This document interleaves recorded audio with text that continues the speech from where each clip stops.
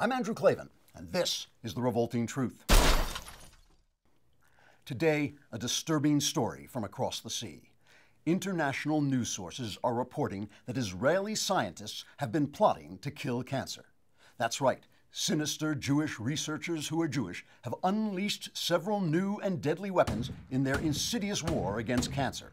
They've developed a revolutionary new protein that could cause cancer cells to destroy themselves in what can only be described as a massacre of the innocent cancer cells. Israelis have also developed the first blood test for breast cancer and new techniques using extreme cold that could viciously murder lung and breast cancer cells with minimally invasive techniques. Needless to say, since these techniques are being developed by Israeli Jews, we must defend cancer. After all, there were cancers living in the Middle East before the Israelis got there. By what right did the imperialist forces of the West decree that Jews could simply move into cancer's territory and start killing off these peaceful indigenous diseases left and right? Are we in the international community going to stand by and allow cancers that are just going about their humble business in someone's breast or lung to be suddenly uprooted and destroyed by the kind of high tech weaponry only Israel would deploy? Every television network should be leading their newscasts with graphic pictures of the pitiful dead and dying cancer cells that have come under relentless attack by Israeli researchers. The New York Times, a former newspaper, should keep a running count of how many cancer cells have been killed in this invasion. After all, only about 40,000 Israelis die of cancer every year, whereas hundreds and hundreds of millions of cancer cells are killed by Israeli doctors. Do those numbers seem fair to you? Fortunately, I am able to report that our moral guardians on the political left are taking action as they always do to try to stop the Jews. Or as the left calls them, the Jews!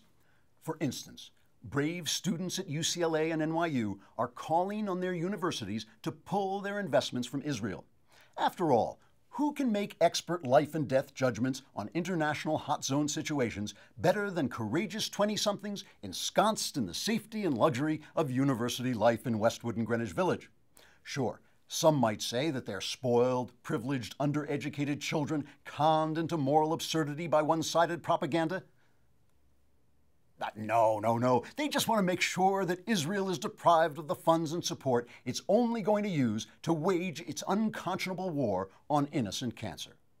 But you know, the problem isn't just Israel. In some sense, it's fair to say that Israel is the bloody tip of Western civilization's cancer slaughtering spear.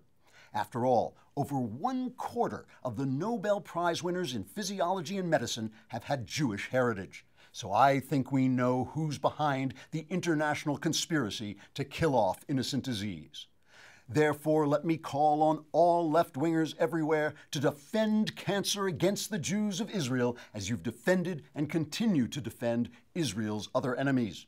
If we can stop Israel from attacking cancer, then maybe cancer will have a chance to spread worldwide. I'm Andrew Klavan with The Revolting Truth. To keep these videos coming, please consider making a small donation by clicking here. Please subscribe to our YouTube channel or visit us at truthrevolt.org.